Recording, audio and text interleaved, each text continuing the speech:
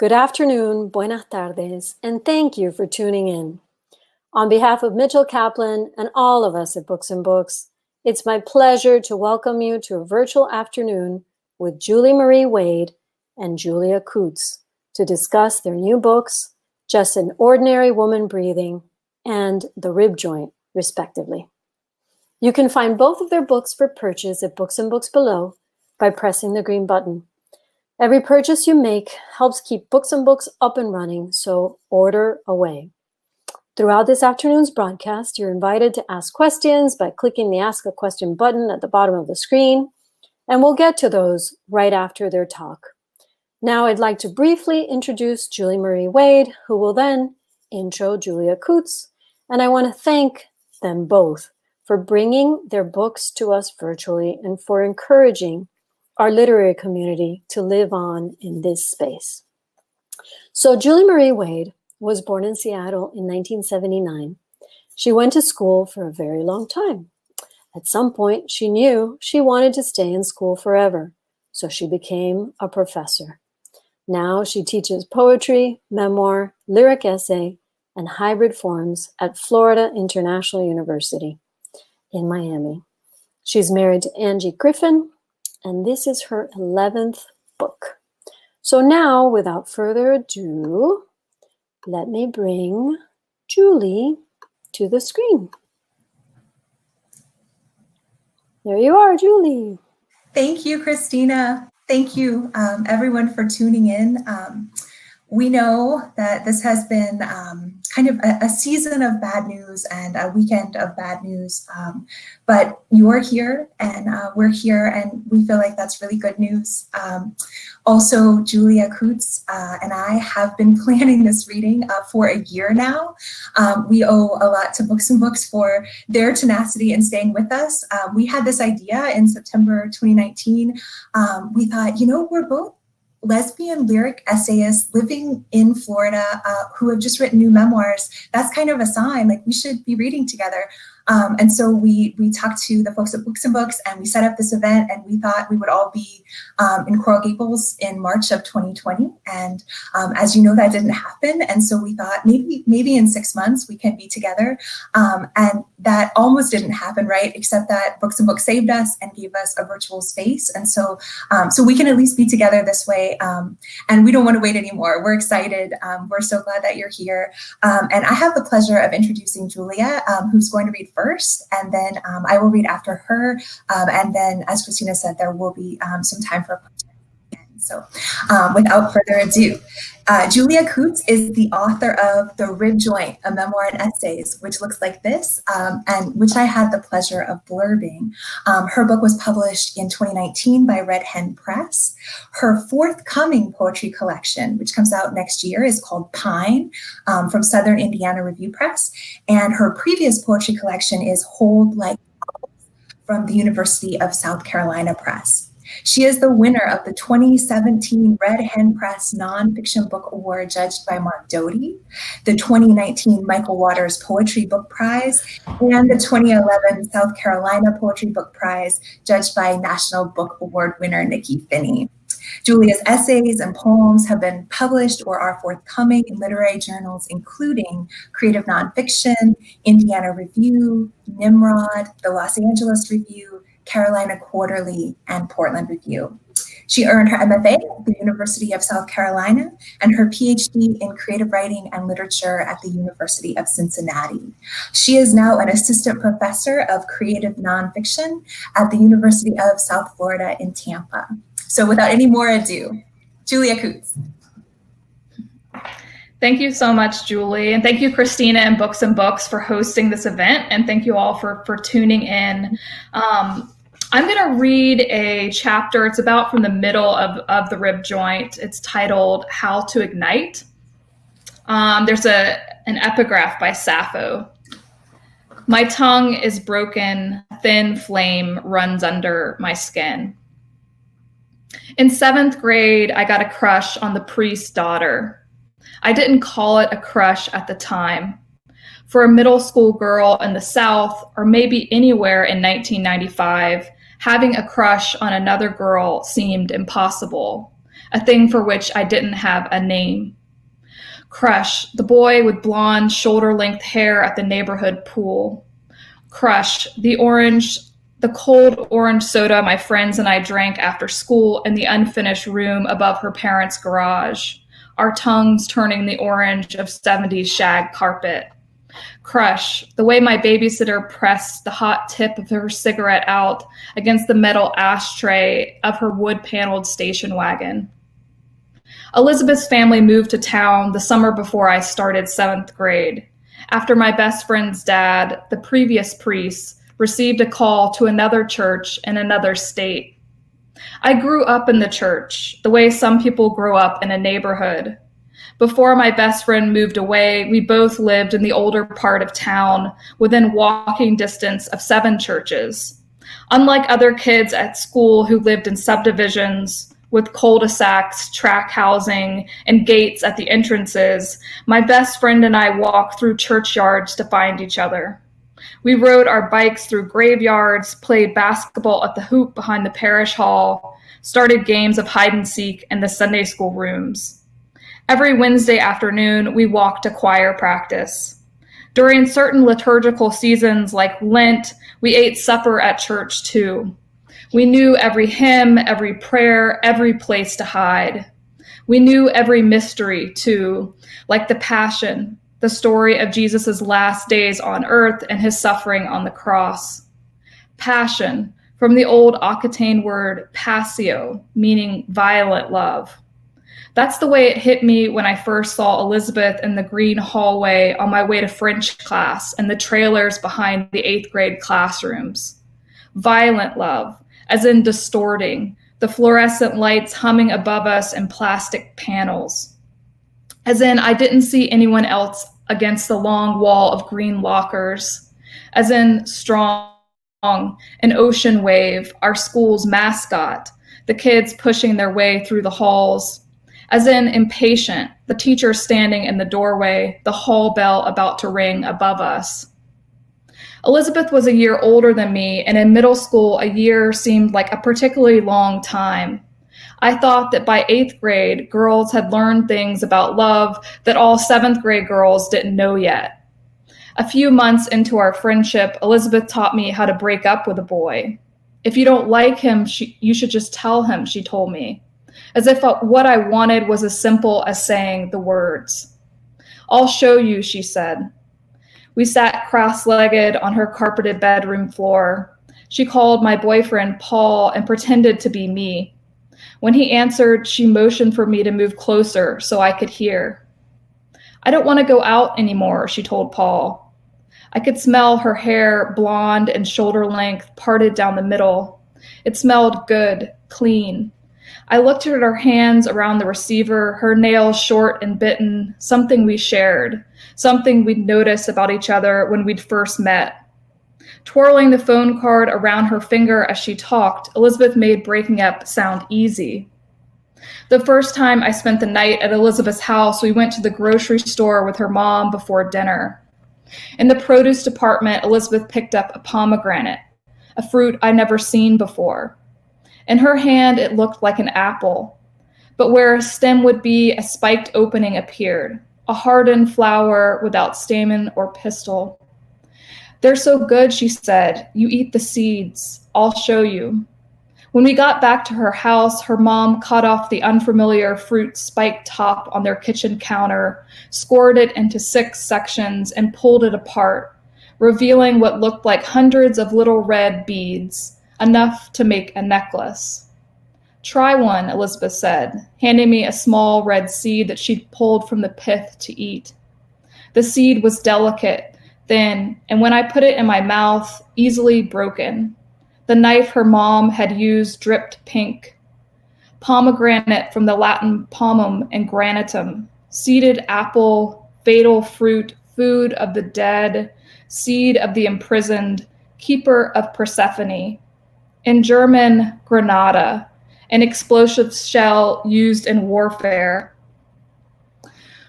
On one of the first really warm days of spring, I was an acolyte at an outdoor service. After processing up the grass aisle carrying the tall brass cross, I took my seat next to the priest, Elizabeth's dad. The bright gray headstones glimmered with sun. Elizabeth and several other eighth graders sat in the front row in squeaky metal folding chairs. The azalea bushes bloomed bright pink, and all the girls wore sundresses. I don't know what came over me.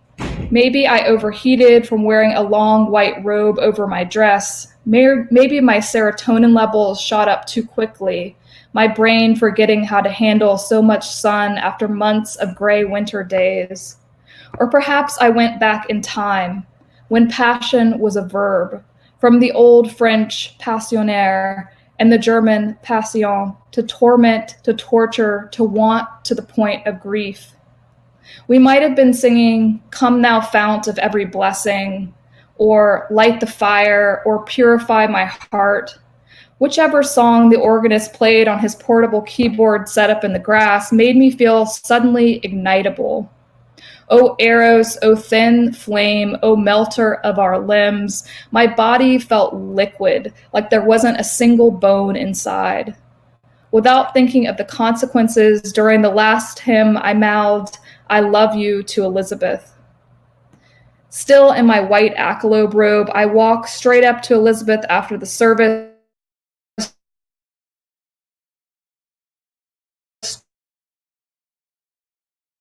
Trying trying to remember the way she'd broken up with Paul for me on the phone months before. Juice. I didn't for her to say the phrase back to me, for her to feel how she pushed her tongue off the back of her mouth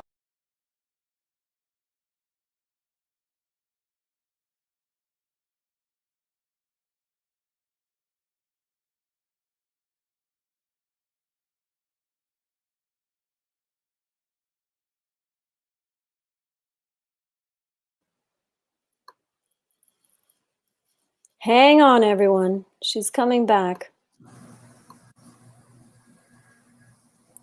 She's coming back. I think it has to do with her connectivity, but I've re-invited her. There you are, Julia. I'm sorry. Do you want to just like take it from where where you left off? Sure. Where, where, where was Okay, hang on. Or I can just start. Hmm. Looks like your video is a little bit delayed. Can you hear me? Julia? I can hear you. Okay, then try it. I can Let's hear you. it. Okay, let's try it. Okay. My pink 10 speed bike to a restaurant on the old town square to meet. We all ordered chicken fingers and fries, which the waitress brought to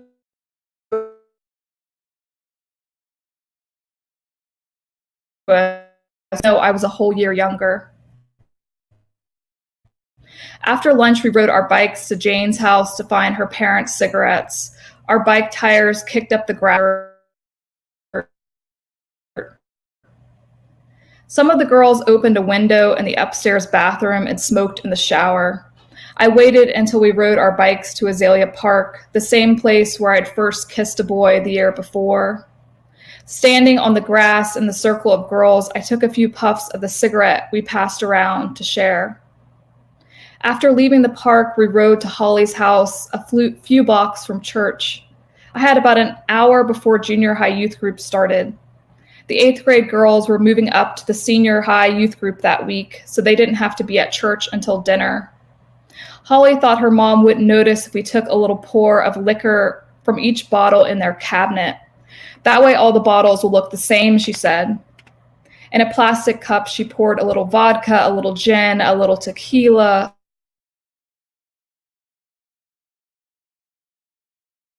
As we walked down the empty road from Holly's house,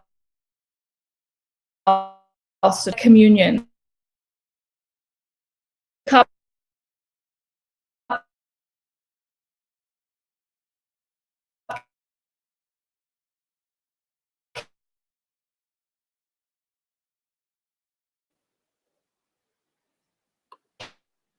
came to ask the rest of us if we knew it lighter to burn a smiley face onto your skin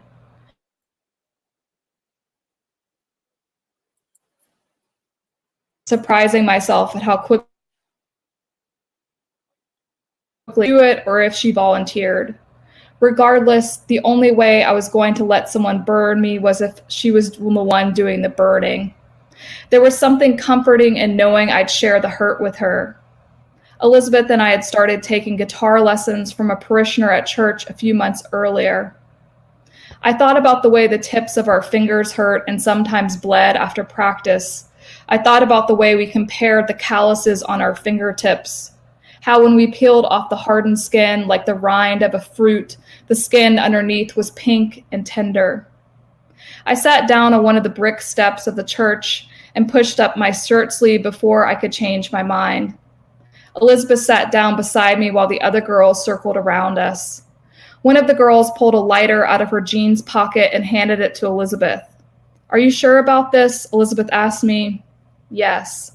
Elizabeth pulled her thumb across the serrated spark wheel of the lighter several times until a flame flicked and stayed.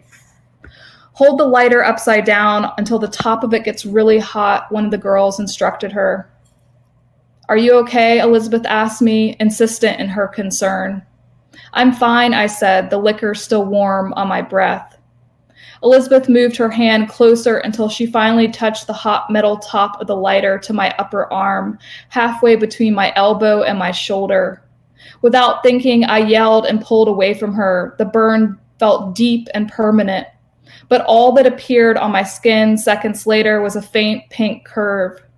The lighter wasn't on my skin long enough to make the eyes or the full curve of the mouth. The mark looked indifferent, I thought, nothing like a smile. Do it again, I told Elizabeth. I won't move this time. The girls looked on in anticipation, the way people circle around a bonfire, a primordial fascination with things on fire. Elizabeth ran her thumb across the little metal gears to get the lighter hot again. When she moved closer to me on the steps, I tried not to flinch. I wanted desperately to forget the way the, hot, the metal of the lighter had eaten at my skin minutes before, how my skin had seemed to melt like wax under the heat. As much as I tried not to think about it, though, I couldn't stop myself, and I pulled away from her a second time when she touched the lighter to my arm. Another faint curve appeared on my skin, an inch above the other one. This time, don't let me pull away, I told Elizabeth, determined to make it work. Are you sure? she asked, looking at the two other burns. Yes, I said, with a surety I rarely had when answering questions. This time, the third time, I wanted to get it right. She held my wrist with one hand and pushed the lighter into my upper arm and her other hand until I pulled away from her for good, sure that the metal had burned down to the muscle this time, singeing it black. There, it worked, I said, smiling when I looked down at the eyes and perfect mouth that had begun to pucker on my arm.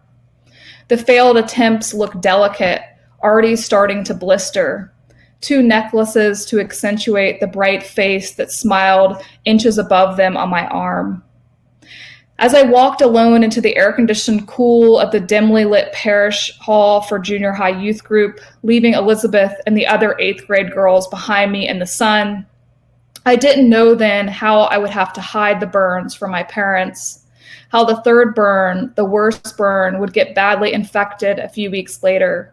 How I would lie to my mom, insisting the burn was from a curling iron I'd used at a sleepover, how the eighth grade girls would start high school so soon, how Elizabeth and I would grow apart, how a few years later the two smaller scars on my arm would completely disappear, how the worst burn wouldn't ever heal correctly, the scar still visible on my arm 21 years later.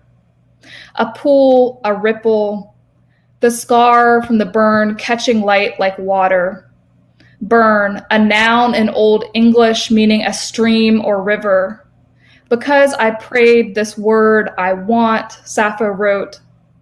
I asked a girl for a river, a burn to mark the fire I could not speak. Thank you. Bravo, bravo, and thank you for sticking with us and coming back. Let me get Julie. I stayed on the screen because it seemed to stabilize the the That's image. So that was riveting. Thank you so much. Thank you. Thank you, Julia. Um, I also will be reading from um, a Bildungsroman, a coming of age narrative. Um, Can you like hear me Julia. okay? Can you hear me?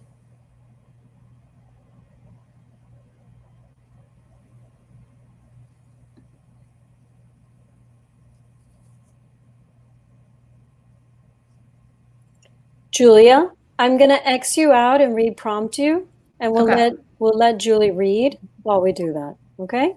Okay. Okay.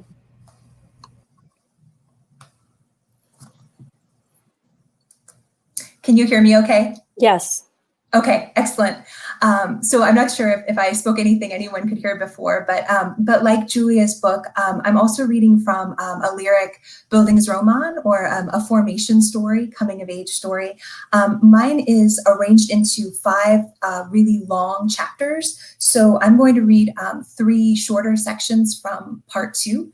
And the only thing that you need to know is that um, I am in real life an only child. And so when you hear uh, references to siblings in this section, one thing um, that you would know if you had read the whole section is that um, the siblings are imaginary, um, the adults are not. So to begin, the truth is in the teeth, the dentist claims. He is tall and tapered like a candle. He wears a green mask over his mouth. They are the longest lasting feature of our species, he says. They carry the body's secrets. I thought that was the tongue. Now he lets out a hearty laugh. The mask crinkles around his lips. I commit to memory the contents of his window ledge aloe plant, abalone shell, driftwood. You're an intriguing little girl. He states it like a fact, not a compliment. He seems like a prophet to me, a man who should be standing on a mountaintop. Thank you, I say. My mother has taught me nothing if not good manners. As he cleans my teeth, Dr. Watts describes the mouth like a magic kingdom. He is in love with his profession, the way some men love their wives and children, the way prophets love the word of God. Did you know that paleontologists use teeth to identify fossils?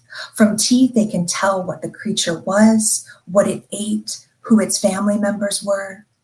He holds the little mirror on the silver stem inside my mouth. In the next room, I hear my mother chatting with the receptionist. I practiced my best concentration, the dial in my mind turning her loud voice down.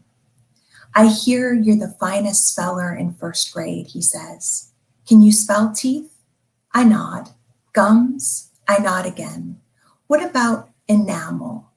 I think on it, then nod again. Well, that's very good. Dr. Watts wipes his utensils and offers me a sip of water.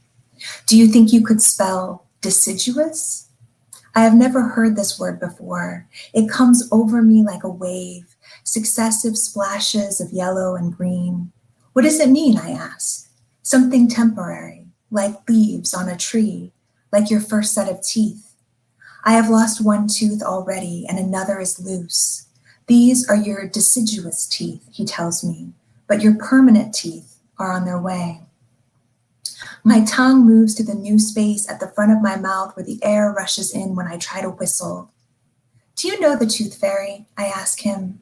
It is almost time for my mother, with her dark pink lips and full set of permanent teeth, to take my place in this chair. You mean personally? I nod. Well, I think I've bumped into him at a conference or two. Someone may have introduced us once. The tooth fairy is a man? This possibility has not occurred to me before. I thought fairy was a girl word, like princess or ballerina. Dr. Watts, guilty for revealing a secret that only the teeth should know, looks away and pretends to be interested in my x rays. Well, it was a long time ago, he says. I could have been mistaken. It's okay, I reassure him. I won't tell anyone. But I like the idea that I am privy to this truth, like the truth of angels, who are always glowing women on the Christmas tree, but seem to be only glowing men in the Bible. We're all done here, he smiles, his mask removed. You have strong, happy teeth, young lady. Let's make sure they stay that way. You are seven years old and coming into your calling. For you, the truth is in the words you study in the dictionary, under pretense of learning their forms. Yes, it delights you. The surprise of the P in receipt, the double L at the conclusion of quill. You are interested in their relationships, how the quill might be used to write the receipt in a careful cursive you haven't learned yet. But there is also the texture of the words, their glint in the light, their cadence as they fall upon the ear. While your mother quizzes you at the kitchen table, you consider the bodies of words, their relative beauties. You consider their heft and height and the other words contained within them. Heat inside sheath, evil inside devil. Words you marvel are like nesting dolls, able to stand apart and also to fit together. For Thanksgiving, we travel. We become like pilgrims, P I L G R I M S, with my father at the helm and my grandmother beside him. She like the quill, he like the receipt she has written. My mother and I squeeze our knees close in the upholstered back seat of the company car. Together we spell and sing and stare off into the distance. Aunt Linda is our destination. Soon we will see her where she lives alone in a one bedroom apartment, not a wife yet and not a homeowner either. Do you have to be married to have a house? But I have been chided for asking about marriage before, as in the last year when I was six and still simple minded, and I studied the ring on her right middle finger. Is that your wedding ring? Why do you wear it there on the wrong hand? Aunt Linda may be sensitive about that fact, my father said. It is better to ask people about what they have than about what they are lacking. Aunt Linda has my mother's name, both their mothers christened them Linda, and since my mother married my father, and since my aunt is still a tenant and not a wife, they both sign their checks Linda Wade, though the script is different, just as the letter that comes between Linda M, my mother, Linda A, my aunt. If my father calls out in a room, both women will turn and answer. This fact surprises me also that there aren't enough names for everyone to have their own. Aunt Linda wears an apron dusted with flour, beneath it a mauve M-A-U-V-E sweater and white winter slacks. She hugs us each like we might break, and then we scatter, which is close to shatter, but not quite. Scatter is a movement word. Shatter refers to glass. Mama, I've got a nice hot cup of coffee for you, Aunt Linda says, leading my grandmother to an oversized chair. My father hangs up his hat and sets to work sliding the leaf into the dining room table. In the kitchen, my mother dons an apron, adjusts the station on the radio. When I perch on the stool at the pass through window, two Lindas mash potatoes side by side, two Lindas arrange hors d'oeuvres, spelling unknown without speaking. Aunt Linda, I was wondering. On my bookshelf, she smiles, pleased with her psychic powers.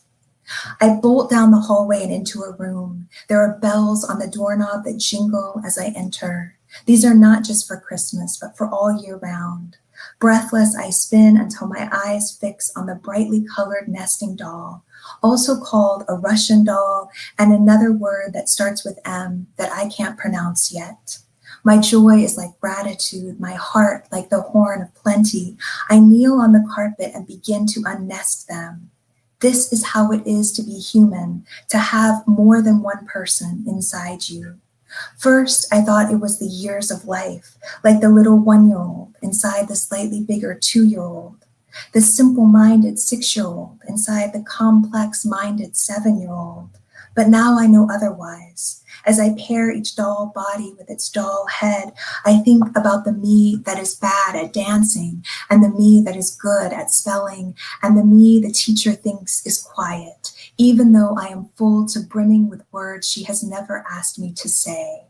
I think also about the me my father loves to take to the park, the me my grandmother says reminds her of her dead husband, the me my mother so often finds disappointing.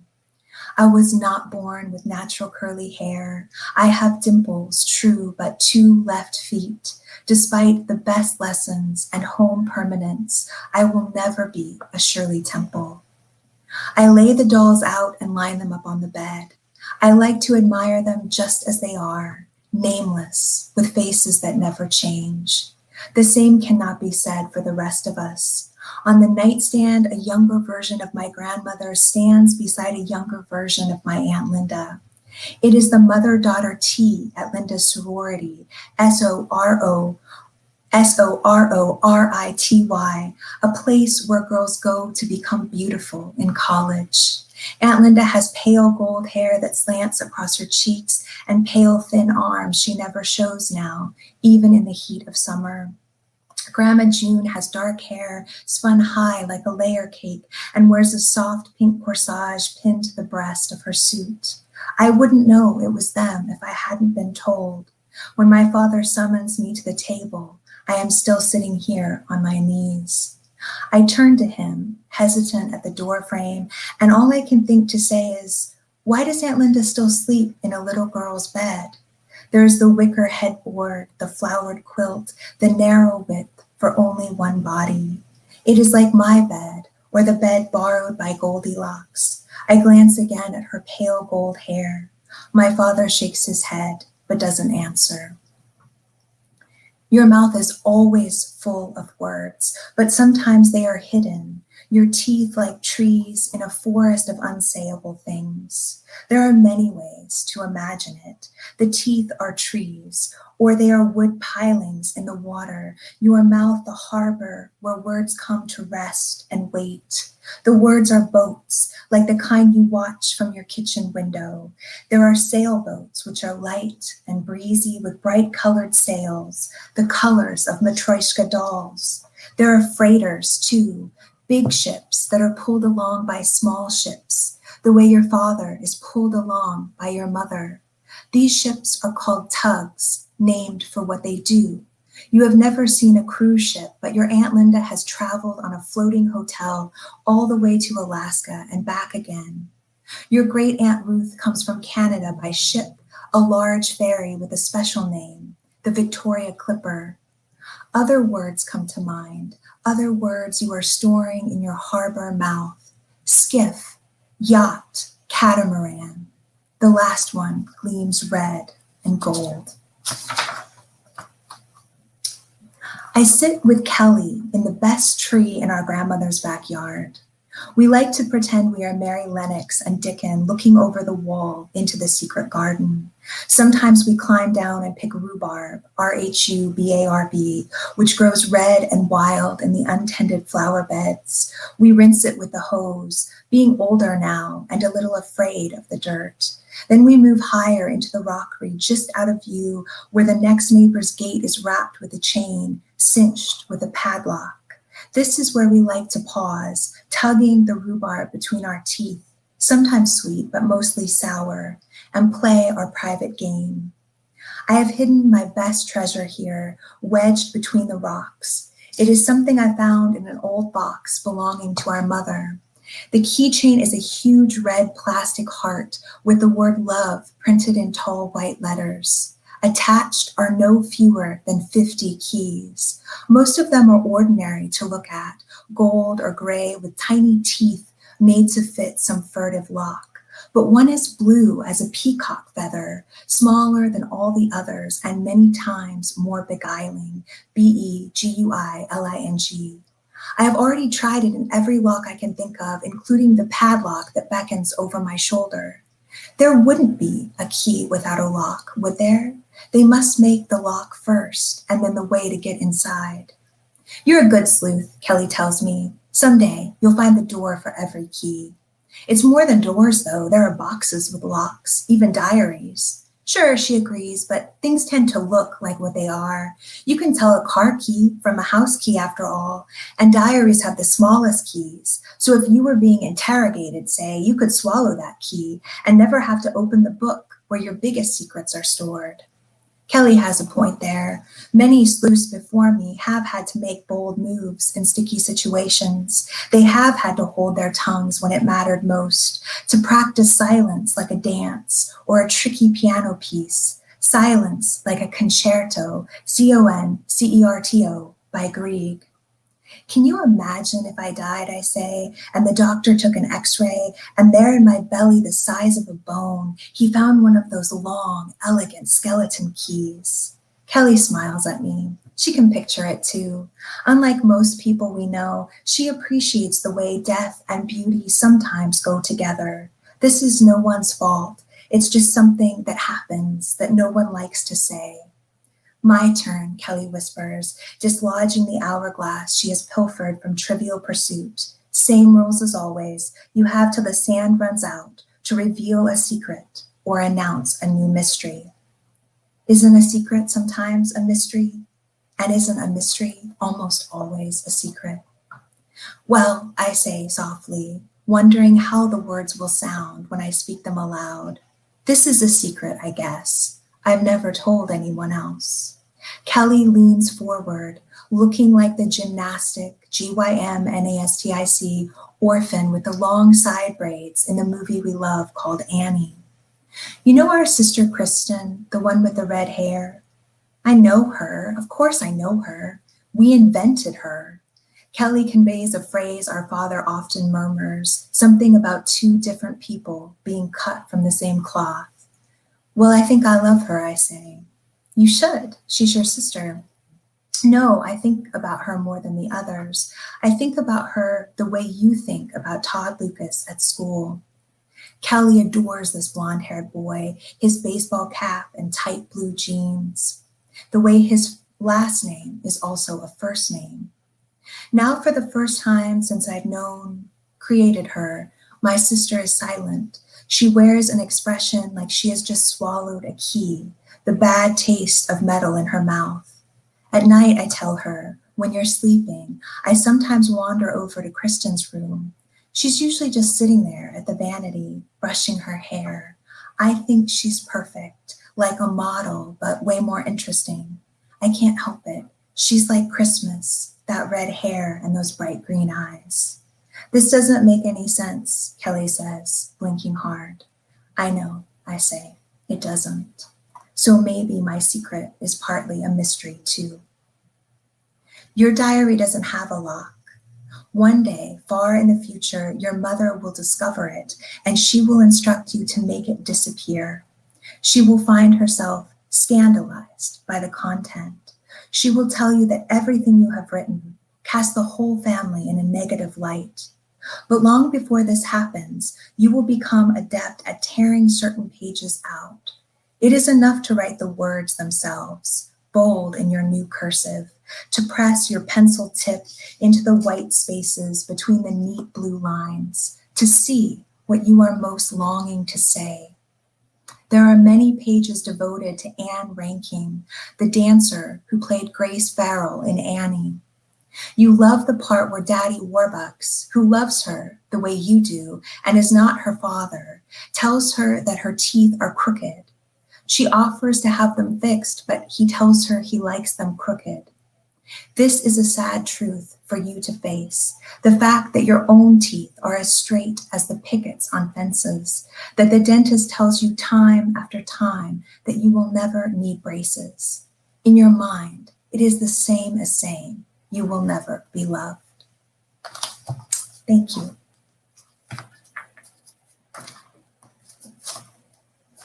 Bravo. Let's give Julia a minute to get back on. Here we go. Can you hear us, Julia?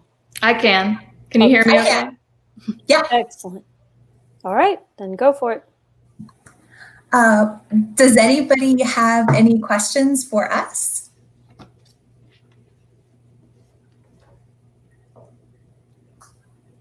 Christina, will we be able to see the questions? Are they in the chat? Well, since we have the chat on, some people may ask in the chat and some people may ask in the ask a question button. So I think they were just, I think you have to give them a chance because okay.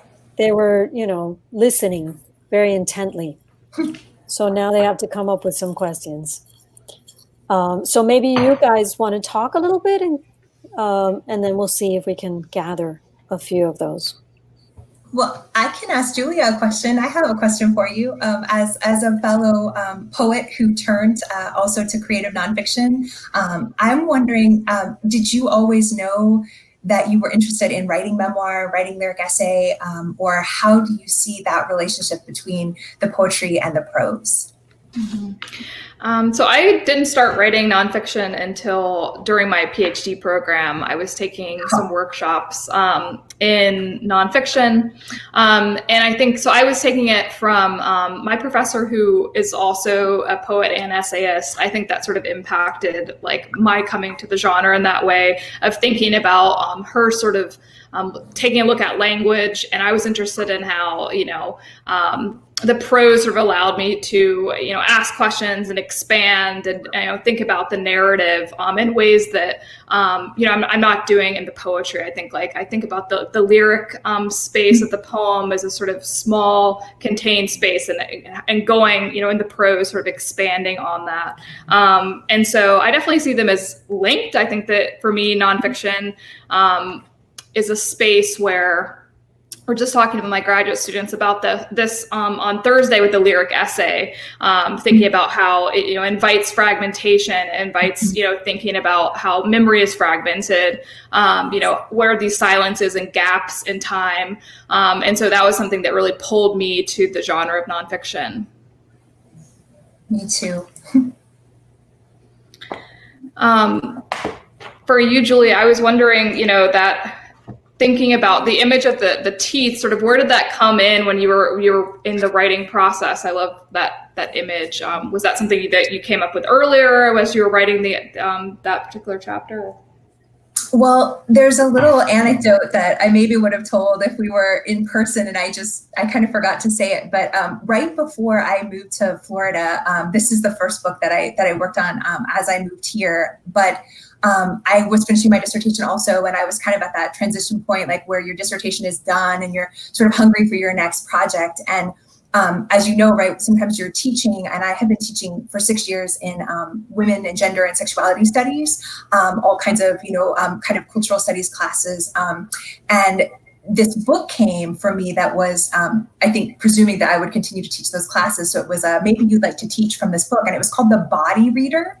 And I just love that title. Um, and it was a collection of critical theoretical essays meant to be taught in a kind of like an introduction to feminist studies or embodiment studies class. Um, and I never had a chance to teach from that book, but it kind of it planted the seed for me that I wanted to think more closely about the body, like actual embodiment through.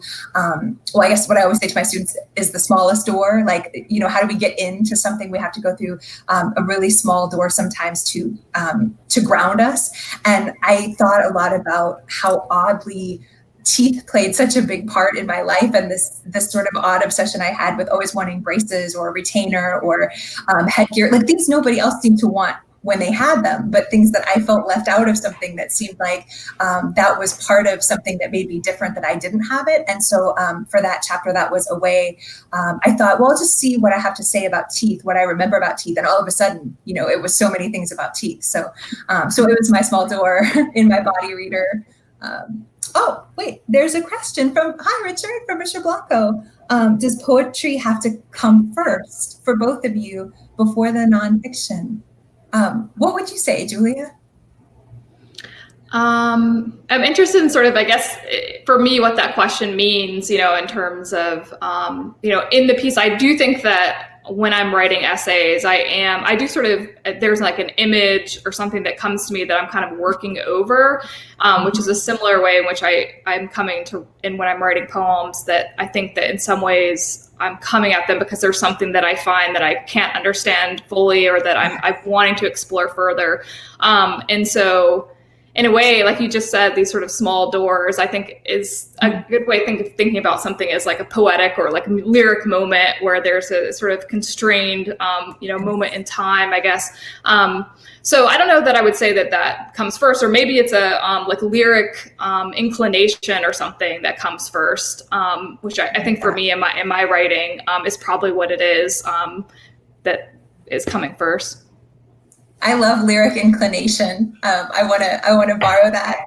Um, I guess I mean one thing I always say that's that's odd about myself, but but nonetheless true, is that I always felt like I was a poet. Like I just said that to people from an early age. Like I'm a poet, but also a detective, um, and all these other things. But like I felt that I was a poet, um, but I really didn't write pro uh, poems as a kid. I wrote mostly prose, and so I almost kind of connect poetry as, in that way, maybe yes, it's a first because it's like how I thought about. I guess I kind of thought of poets as like that's the space where you go to to um, have the deep thought but then you have to you have to find a way to communicate it which is often through the image but i, I didn't have any of that training initially. So it felt like um, poetry was the state of mind and prose was like the only thing i knew you could really do. I guess i, I knew poetry was like on cards, like greeting cards, but I didn't really have any contact with poetry until college. And so it took a long time for me to actually have a like a poetry practice, even though I was going around, you know, saying I was a poet all the time, but mostly just um, writing a lot of um, bad novels um, and then getting to college and getting some some class guidance in, in mostly actually creative nonfiction first. So um, that's a good question, and I too have a lyric inclination. Mm-hmm. I think I think we're on the same page that way. Um, oh, this is Deborah Dean, another of my colleagues who we would have met in real life too. Um, I wonder if you both would like to recommend additional lyrical essay titles, um, a piece that blew you away when you were coming to the genre. Ooh, good question. I think Maggie Nelson's Bluets was one for me. I think that really um, the way in which she is making the, these leaps and there are the silences in between where uh, we again have talked about this in my um, graduate nonfiction workshop last semester was like the way in which these silences like allow you as a reader you're, you're kind of filling in those gaps you're um, you know reading between those spaces um, and just that invitation to think too about the idea we talked about this in my class this last week the idea as as a character um, how you know how are you developing your ideas um, so that they are you know we think about place as a character oftentimes is talked about but also the idea how is that so important when we're writing essays and we're thinking about um, the possibility of you know questioning in the essay I love Maggie Nelson's Bluets. I know a lot of um, some of my students who are in the audience, uh, some of my grad students have read Bluets. Um, and Maggie Nelson is just a wonder. Um, all of the you know hybrid work and lyric essay and poetry and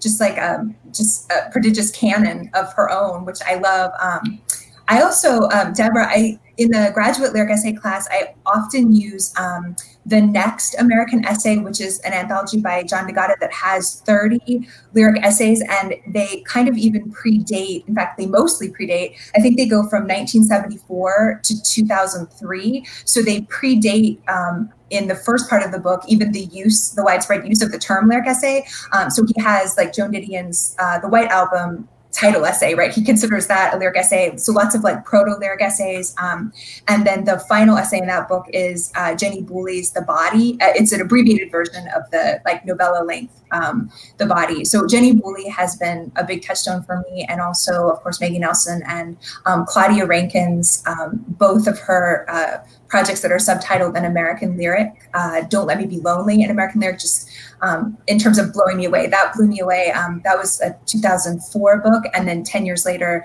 Citizen An American Lyric. And now um, I'm awaiting my copy of Just Us, An American Conversation. So other, other writers who do like poetry and essay um, often, especially ring my chimes.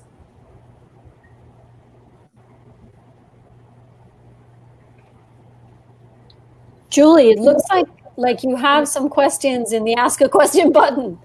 Oh, so, am I? I'm so sorry. Can yeah. I see? I, oh, so I you might want to check those out oh, too. There it is. Um, I didn't know. So, oh, there's one. Can you see it, Julia? Um, um, what's the? This is Julia. What's it like to publish such a rad, all caps, nonfiction book and very queer, and to live in the South?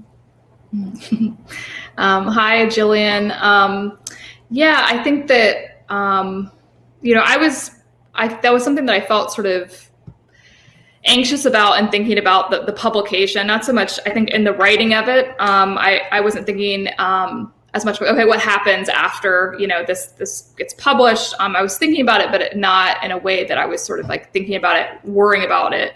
Um, so i think that um, i don't know. I think growing up in the south um, I was thinking about this. So I taught at Clemson before um, I was teaching at USF, and I was just sort of blown away by the way that students um, in creative writing classes were like talking about queerness so openly in ways that when I was in college, it just wasn't happening.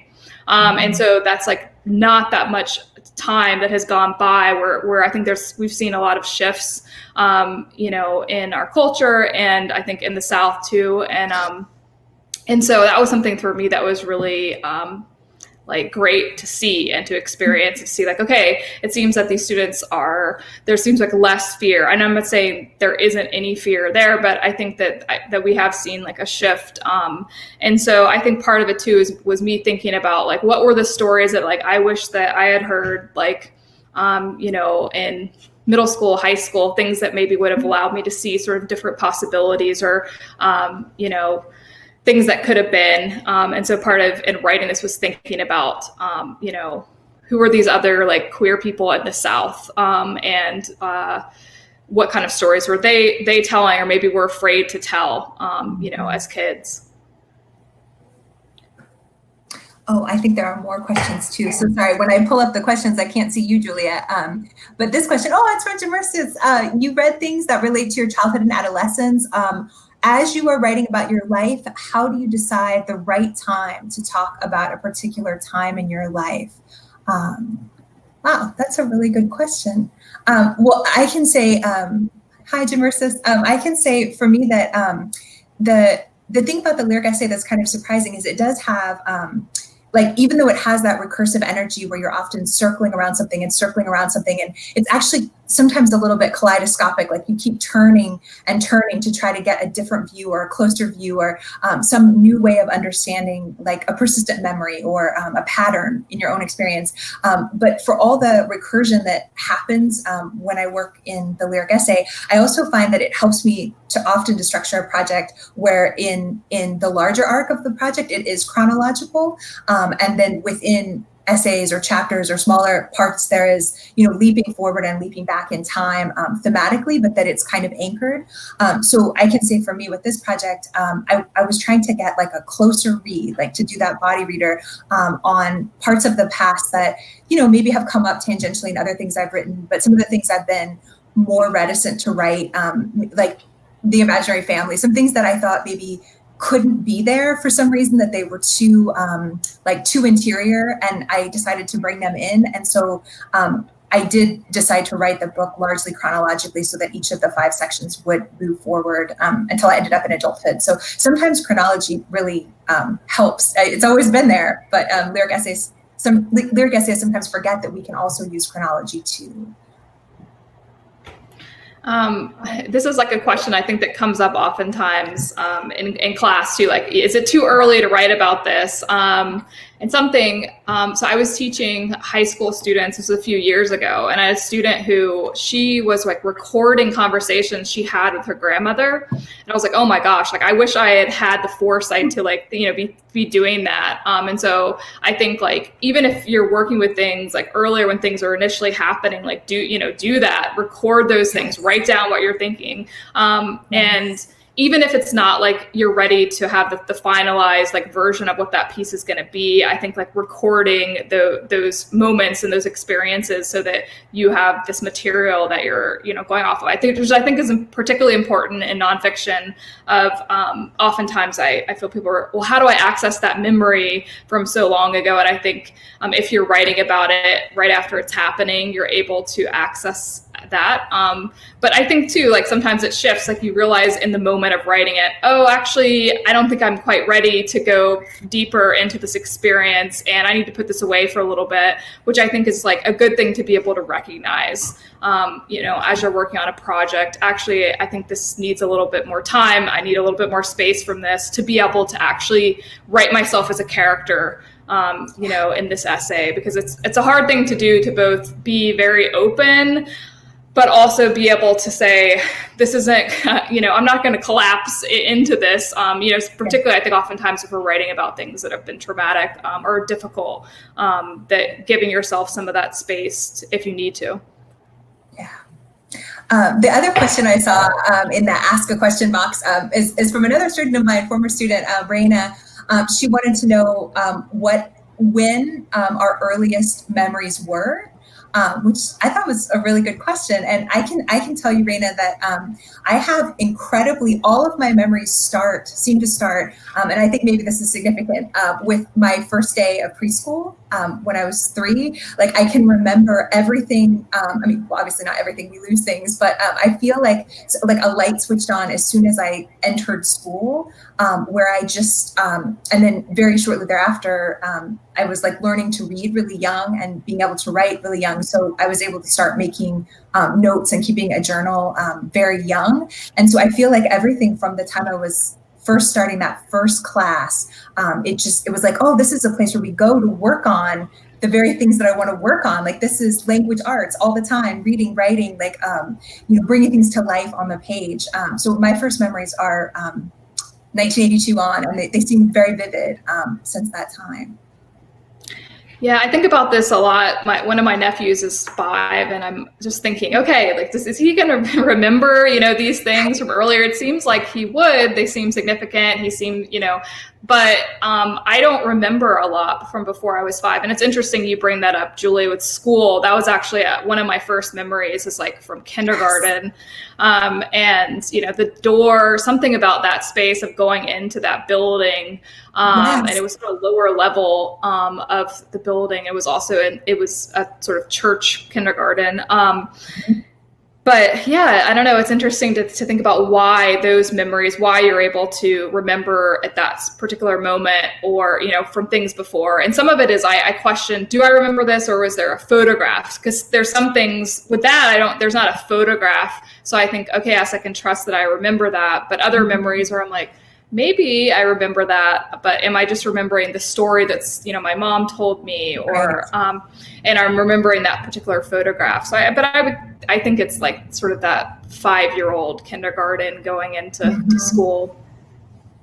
I read an odd study, and I can't remember now. It's one of those terrible things where you want to find it again to be sure that you read it right. But I, I, think I did. And it said that they had been doing research that children who have really early memories, like in the like two and three year old memories, um, and I don't know if this how consistently this holds up, but that it tends to be um, children who like sleep a ton, like that something about that like encodes those memories, and that um, children who are like less sleep oriented that they tend to have later memories. Um, and I don't know if that rings true for you, but um, I was I was a big sleeper as a child, like really, like I think like 12 hours a night. And so I think I encoded everything.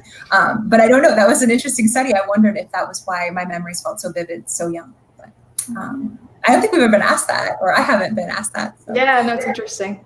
It's a good question. Um, I think, oh, Lori, Lori asked, can you give advice? Uh oh, it's going up the chat. Let me see if I can find it. Can you give advice, oh, as to where to submit hybrid writing um, most publications ask you to categorize, and hybrid is rarely one of the choices. Um, that's that is true, though. I mean, I do think happily it's beginning to change. And one of the first places that changed that I noticed right away, um, my one of my alma maters, uh, Western Washington University, uh, publishes the Bellingham Review, and they added a hybrid um, line. So, you know, there's typically fiction and poetry and hopefully creative nonfiction, but they added a fourth category for hybrid. Um, and they also did that in tandem with um, adding a hybrid track to their MFA program, um, which I think is really lovely and progressive. Um, and of course, like publications like Diagram um, sort of welcome inherently hybrid work of all varieties, including like hybridities of word and image or, or word and like pictorial elements. Um, are, are, there others that, that you can think of, Julia? Those just came to my mind. Mm, I think of like fourth genre, um, you know, is one that, you know, I think I remember I submitted an essay and they were like, oh, actually go more lyrical, like, um, you know, take out the, the narrative totally and it's pushing me towards going more lyrical. Um, you know, I think that you do kind of, I, mean, I think as you say, Julie, I think more places are becoming open to like hybrid pieces, things that are more lyrical, that are like, where do we mm-hmm. categorize this?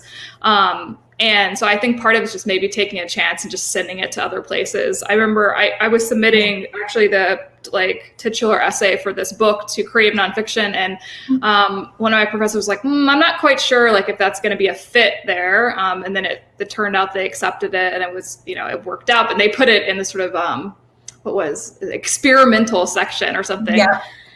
Um, and so I just think sometimes if, if you know the piece is working, just try you know try sending it to places they might be like, oh, that we don't normally publish pieces like this too, or you know this feels like a little bit more experimental for us, but they might it might work there. Just you know with the other pieces they're publishing at that yeah. for that issue. That's true. And even some places where initially, you know, like 10 or 12 years ago, I would look and they didn't necessarily even have a category for creative nonfiction. Now I'm seeing even differentiation of um, like I know Gulf Coast uh, has um, like a category for creative nonfiction, and then they have a separate category for lyric essay, mm-hmm. which I always kind of read to mean like if you have something even more experimental or you're not sure where it fits, you can send it here. Um, and then now, as I'm talking, I'm thinking of Fugue, um, how they have a whole, like a litany of submission options, including one called The Experiment. So anything that's like ex- that uses the word experiment or experimental always seems like if you're not sure what to call this or you think it might be more than one thing, you know, we're open to it. Um, and Black Warrior Review is like that too. There's just very, there's some places that are um, really open, like surprise us. Oh, oh and the journal Q, um, QU, um, and the journal Posit. I have found both of those to be very friendly to experimental work. So, um, good question. Uh, let me see. Did I miss any other ones? I don't know. I haven't been great at monitoring. Oh, wait, monitoring the chat. Um, Heather. Oh, Heather. Hi, Heather. Both of you really captured some of the feelings and textures of um, experiencing the body as much younger person. Are those leaps challenging? Is there something about lyric that facilitates it? Good question. What do you think? Um, I think this connects with what you're talking about, Julie, with the body. Um, you know, thinking about the body, um, and um, you know, I do think it can be challenging to like, you know, I, I like the word the word we're using there, um, how they're like leaping. It does feel like a kind of like leaping, and inhabiting, um, you know, part of yourself that feels in some ways distant, um, and uh, maybe even a separate kind of self in a way um, that, like, okay, who I was at, at this particular moment. Um, and I do think that as you say this, I think that the, the lyric de- allows for these kinds of leaps, um, I, you know, in time and, and also to be thinking about, um, you know, ourselves as sort of fragmented um, and these memories as fragmented. And so um, in a form that sort of, um, you know, is, is um, in, embracing that kind of fragmentation, I, I think that um, to me it works as a way of inhabiting these spaces um, from from the past. Now, that's not to say you know things that are not like categorized as, as lyrical are not doing that, but um, I think for me that that's part of it. That it and I think it connects back with this earlier question about the connection between the um, poetry and the nonfiction. Um, that for me, sort of zooming in sometimes on a particular word or something in the language is a way of um, allowing myself to figure out what was I thinking, what am I thinking about this, what sort of questions do I have about this particular moment, and that's a way in of investigating those kinds of experiences about. Um, you know, particularly I think from childhood and early adolescence, um, that that's a way of trying to for myself to kind of work through those things. Yeah, me, t- me too. Um, I don't know if this is true for you, Julia, but as I like, I find this strange thing happens. Like the older I get, the more clearly, actually, maybe that's like a literal and a metaphorical, right? Like as you get older, like it's easier to see things that are further away than it is to see things that are up close. I feel like that's also true metaphorically. Like the older I get, the more I can see kind of like the like the patterning or the it's like the lace work of the past, like things that at the time when you were living them or even a couple years out I, I could write about them in a diary, but I didn't really have any perspective on how they might um, later come back and affect like the person I was becoming at a later time, or how I might be able to see certain patterns with other things that like hadn't even happened yet, right? And so um, the thing that keeps happening to me is that as I'm getting older, I'm seeing the past more clearly and i'm able to make connections across um, all of you know my childhood and adolescence that i couldn't have done even when i was a younger writer. Like in my 20s when i was just starting to probe um, the past and the past was so much closer then. Um, and so then this also raises the question as i get older like if my 30s are just now sort of coming into view a little bit like how old like i'm going to be really old and still trying to understand my middle age like there's always that delay. Um, and I, I, do think that the lyric helps because it allows you certain freedoms um, but at the same time a really well chosen structure helps you from uh, keep from getting lost in it. So like if there's i love in julia's work how there are those definitions um, like permeating the text and like a pattern of coming back to words and that's a that's a pattern i love um, to use myself myself, but it's also a way of keeping myself grounded because there's so many so many things to potentially say. Um, but I'm finding that the far away is getting clearer right now. Yeah, I think that's a great point, Julia, about like I think sometimes it can feel like, oh, you have all this sort of unlimited sort of space or, you know, and things where you're thinking about lyric essay. But I think that, um, you know, sometimes that can actually be a disadvantage or thinking about okay i actually have to figure out is it going to be a, some sort of formal choice or yes. um, you know what am i going to go back to that's actually going to feel like these this uh, piece coheres and that it makes sense why i'm i'm leaping from thing to thing because you know i think you could do that kind of leaping and it doesn't make any sense you know um, so i think that um, I think that's a great point about sort of being able to recognize where the patterns are. And I think sometimes you can't do that when you're right in the midst of it. You're like right there instead of seeing, yes. okay, pulling back and seeing where the, the moments are that are actually connected this is also a great occasion um, for anyone who hasn't um, studied with us, or I, I, guess maybe I'm assuming that you talk about um, hermit crab or adopted forms with your students also, but it's just so helpful sometimes to adopt a form um, that you know going in that you're going to use that structure. And by that, I usually mean um, like a, a, form we don't associate with literature at all, but that you can impose. So, I mean, whether it's recipes or answering machine messages or something that gives you a structure that you might discover what you want to say about a subject rather than going in knowing for sure what you do want to say. Um, so that's also been the gift of like the the hermit crab subgenre of lyric essay for me has been just finding. Um, and in the last part of my book, whoa, microphone on the loose. Um, in the last part of my book, um, I used a geometric proof because I was really interested in the proofs that were inductive. Uh, they were the ones that looked like prose poems instead of the ones in the T chart. Um, and so I thought maybe I can use that because that was the only part of geometry I was ever good at. And then it gave me a way to talk about things that I don't know that I would have talked talked about them. Like some of them I wouldn't have thought of without the form um, to elicit the content. And also, it was fun because I felt like I was winning on math, you know, in the end. So, is the hermit crab something that you teach also, or something that you that you enjoy as a writer? Yeah, I do. I think um, Eula Biss's the pain scale like is one that that I've used multiple times, talking about different forms, um, and you know yeah, I think that it's interesting too that you're talking about, you know, how does the form, if you decide on the form, there's all these questions though that you kind of spaces you can go and and not know the answers to thing because you you do have this one thing that's kind of shaping you. Um, I think this is true for like me with poetry. Sometimes like I'm like I'm going to write this villanelle because yes. I have these confined like sort of like here are the rules that I have to be following to a degree. Yes. Um, but then things, there's actually surprises that come out of that because yes. I'm, you know, forcing myself to be working within these things. Like I come up with a word or an image, or like you said, you know, in working with mathematical proofs, you yes. automatically have this built-in kind of language that you might think about. Oh, how in thinking about this, you know, desire in connection with, you know, mathematics, yes. like what what happens there, and things that you wouldn't expect.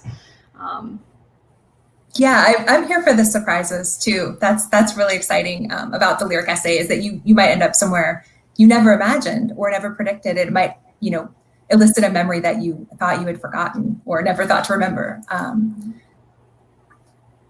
are there any other? Oh, there's one more question in the question box. We don't want to keep you obviously too long, but we want to answer them.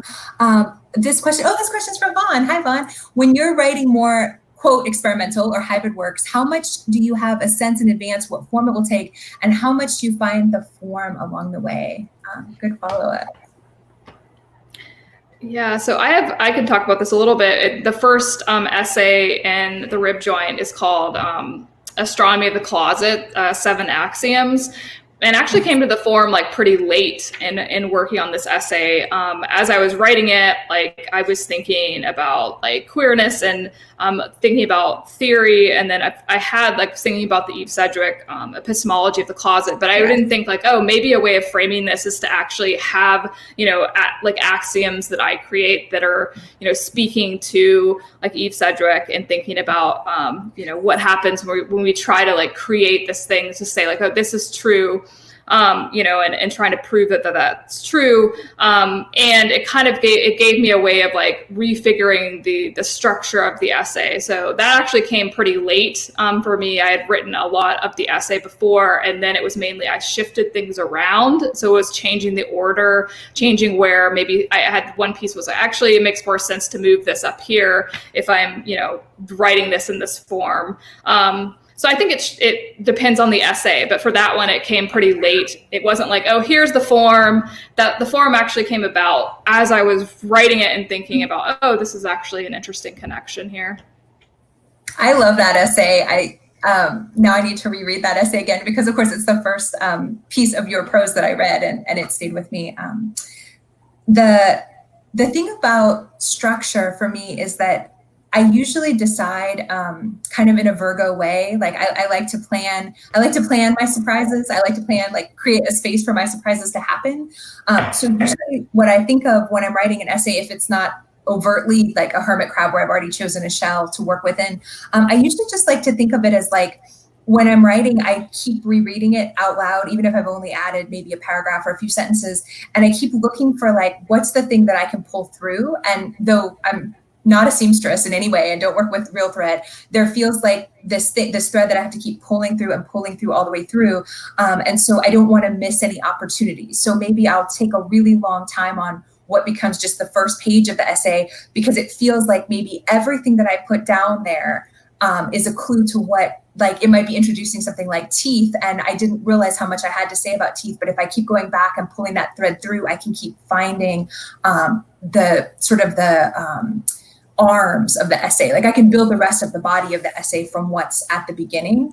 Um, and so I try to always go back and mine it and it doesn't mean that I'm locked in forever, but usually if I get that first page or those first few paragraphs right, I've given myself kind of a, a structural map of where where I can go next. Um, or I can pick something that I know I want to repeat. So like in the essay that you read, right, there's there's the pattern of definition and tracing where the words come from and what their literal meanings are.